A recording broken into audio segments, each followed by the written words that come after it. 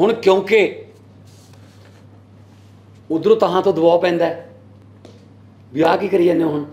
ਪਹਿਲਾਂ ਟੈਂਡਰਾਂ ਦੀ ਗੱਲ ਤਾਂ ਮੰਨੇ ਨਾ, ਇਹਦਾ ਮਤਲਬ ਟੈਂਡਰ ਪਹਿਲਾਂ ਤਾਂ ਹੁੰਦੇ ਨਹੀਂ ਸੀ। ਟੈਂਡਰਾਂ ਤੇ ਆ ਗਏ। ਹੁਣ ਟੈਂਡਰਾਂ ਦੇ ਵਿੱਚ ਵੀ ਕੋਈ ਲੈ ਜਾਊਗਾ ਜੀ ਅਮੀਰ ਬੰਦਾ ਆ ਕੇ। ਬੋਲੀ ਲਾਉਣਗੇ ਗੁਰਬਾਣੀ ਦੀ ਜੀ। ਗੁਰੂ ਨਾਨਕ ਸਾਹਿਬ ਦੀ ਸੱਚੀ ਗੁਰਬਾਣੀ ਦੀ ਬੋਲੀ ਲਾਉਣਗੇ ਟੈਂਡਰ ਬੁਲਾ ਕੇ। 2 ਕਰੋੜ 5 ਕਰੋੜ 8 ਕਰੋੜ 25 50 52 ਤੇ ਜਿਹੜਾ ਜ਼ਿਆਦਾ ਅਮੀਰ ਹੋਊਗਾ, ਫੇਰ ਲੈ ਜਾਊਗਾ ਉਹ। ਫਿਰ ਉਹਦਾ ਚੈਨਲ ਲਵਾਉਂਦੇ ਫਿਰਾਂਗੇ ਘਰਾਂ 'ਚ। ਬਈ ਤੁਸੀਂ ਹ- ਹਰ ਬੰਦੇ ਨੂੰ ਫ੍ਰੀ ਟੂ 에ਅਰ ਕਿਉਂ ਨਹੀਂ ਕਹਿੰਦੇ? ਹਾਂ, ਅਸੀਂ ਸ਼ਰਤਾਂ ਉਹਦੇ ਵਿੱਚ ਜ਼ਰੂਰ ਮੈਂਸ਼ਨ ਕਰਾਂਗੇ। ਜਦੋਂ ਕੱਲ ਨੂੰ ਪੂਰਾ ਅਸੀਂ ਲੈ ਕੇ ਆਵਾਂਗੇ ਐਕਟ ਕਿ ਅੱਧਾ ਘੰਟਾ ਪਹਿਲਾਂ, ਅੱਧਾ ਘੰਟਾ ਬਾਅਦ 'ਚ, ਪ੍ਰਸਾਰਣ ਤੋਂ ਲਾਈਵ ਪ੍ਰਸਾਰਣ ਤੋਂ, ਕੋਈ ਕਮਰਸ਼ੀਅਲ ਐਡ ਨਹੀਂ ਆਉਣੀ ਚਾਹੀਦੀ। ਸਕਰੀਨ ਤੇ ਕੋਈ ਰਨਿੰਗ ਕਮਰਸ਼ੀਅਲ ਨਹੀਂ ਚੱਲਣਾ ਚਾਹੀਦਾ। ਇਹ ਬਕਾਇਦਾ ਸੀ ਮੇਕ ਸ਼ੋਰ ਕਰਾਂਗੇ। ਜੇ ਕਿਸੇ ਨੇ ਇਸ ਇਸ ਕਾਨੂੰਨ ਨੂੰ ਤੋੜਿਆ, ਤਾਂ ਉਹ- ਉਹਨੂੰ ਅਸੀਂ ਨਹੀਂ ਫਿਰ ਪ੍ਰਸਾਰਣ ਕਰਨ ਦੇਵਾਂਗੇ।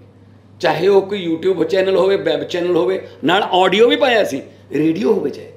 ਕੈਨੇਡਾ, ਅਮਰੀਕਾ 'ਚ ਬਹੁਤ ਸਾਰੇ ਰੇਡੀਓ ਚੱਲਦੇ ਨੇ, ਟਰੱਕਾਂ ਵਾਲੇ ਦੂਰ ਦੂਰ ਜਾਂਦੇ ਨੇ ਰੇਡੀਓ ਸੁਣਦੇ ਜਾਂਦੇ ਨੇ, ਟੈਕਸੀਆਂ ਵਾਲੇ ਰੇਡੀਓ ਸੁਣਦੇ ਨੇ। ਤੇ ਜੇ ਕਿਸੇ ਟੈਕਸੀ ਵਾਲੇ ਨੇ ਗੁਰਬਾਣੀ ਸਰਵਣ ਕਰਨੀ, ਤਾਂ ਆਪਣੇ ਗ- ਗੱਡੀ 'ਚ ਰੇਡੀਓ ਲਗਾਏ। ਉਹ 'ਚ ਲਾਈਵ ਚੱਲਦਾ ਹੋਊਗਾ।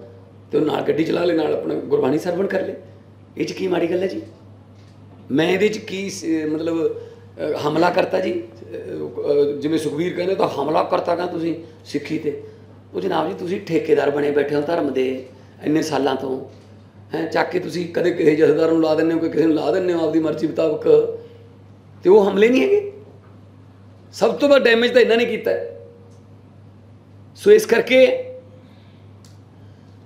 ਸ਼੍ਰੋਮਣੀ ਗੁਰਦੁਆਰਾ ਪ੍ਰਬੰਧਕ ਕਮੇਟੀ ਨੂੰ ਹੀ ਅਸੀਂ ਅਧਿਕਾਰ ਦੇ ਰਹੇ ਹਾਂ। ਇਹ ਗੱਲ ਉਹਨਾਂ ਨੂੰ ਪਹਿਲਾਂ ਹੀ ਲੱਗੇ ਬੋਲਣਾ। ਅੱਜ ਪੁੱਛਿਆ ਤਾਂ ਹੈ ਨਹੀਂ, ਅੰਗਰੇਜ਼ੀ ਦੀ ਕਹਾਵਤ ਹੈ little knowledge is too dangerous ਘੱਟ ਜਾਣਕਾਰੀ ਬਹੁਤ ਖਤਰਨਾਕ ਹੁੰਦੀ ਹੈ।